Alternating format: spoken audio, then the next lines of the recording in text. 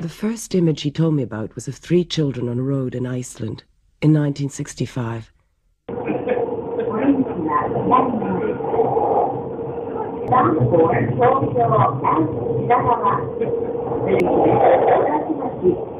He said that for him it was the image of happiness.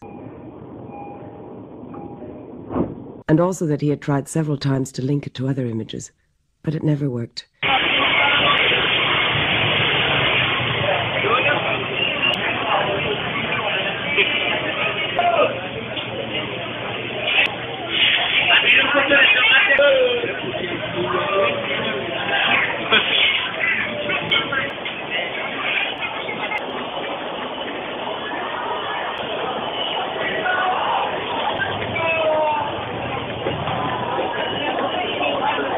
He wrote me, One day I'll have to put it all alone at the beginning of a film with a long piece of black leader. If they don't see happiness in the picture, at least they'll see the black.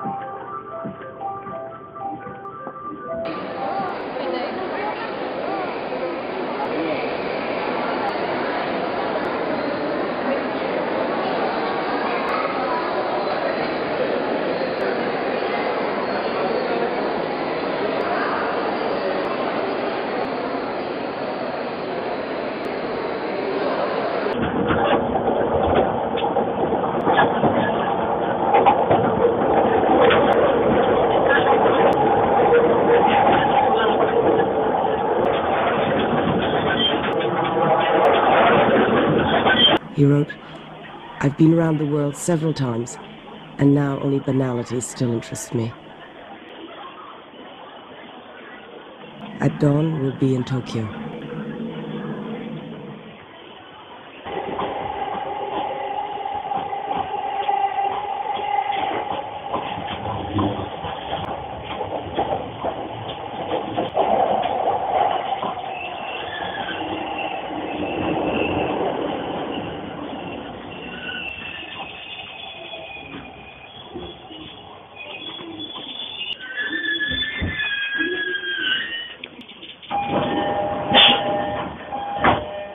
He wrote me, I will have spent my life trying to understand the function of remembering, which is not the opposite of forgetting, but rather its lining. We do not remember. We rewrite memory much as history is rewritten. The Mika subway line.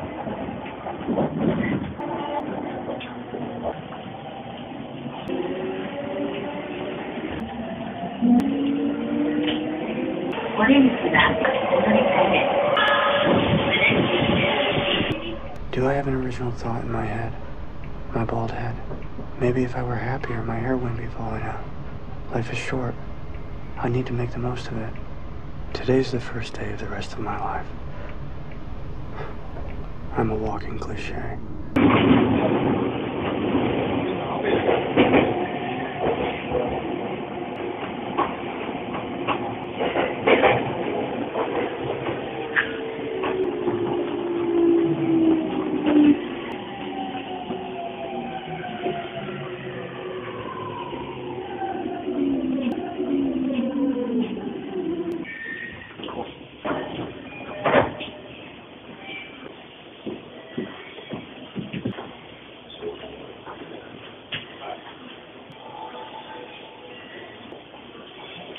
Don't do that.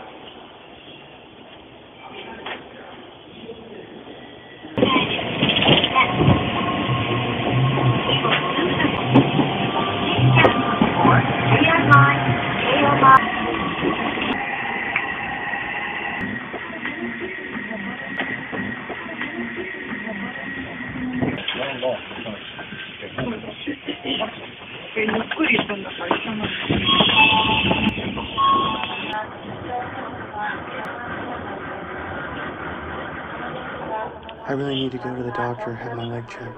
There's something wrong. A bump. If I stopped putting things off, I would be happier. All I do is sit on my fat ass. If my ass wasn't fat, I would be happier. I wouldn't have to wear these shirts with the tails out all the time. Like that's fooling anyone. I need to turn my life around. What do I need to do? I need to fall in love. I need to have a girlfriend. I need to read more, improve myself. I need to get help for that.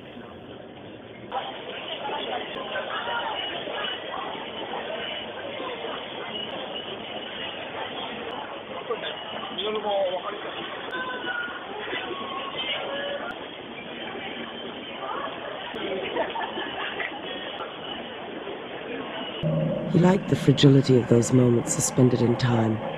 Those memories whose only function had been to leave behind nothing but memories. He wrote, On this trip, I've tracked it with the relentlessness of a bounty hunter.